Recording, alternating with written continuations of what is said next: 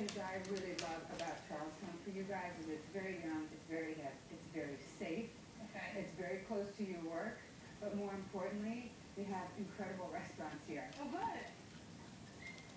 So you guys, since this is still new to the market, it's actually still under construction, okay, so watch your step. So come on in. Nice.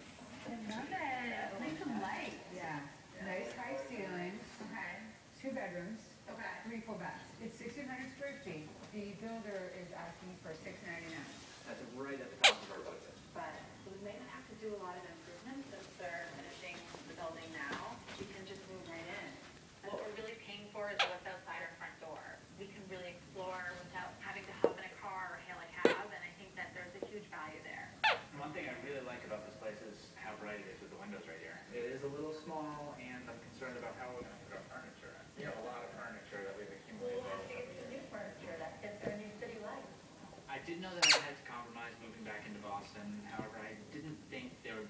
would be this much compromise.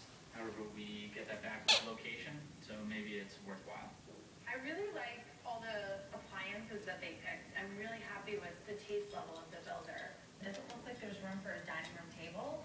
Where did we set that up in this unit? Well, with this bar, like counter here, I think we could set at least one, two, three, four, four, if not five bar stools. I like bar seating. It's actually just like here at the real bar, which is nice. I do like the kitchen. I do like the high-end appliances, but it is a little small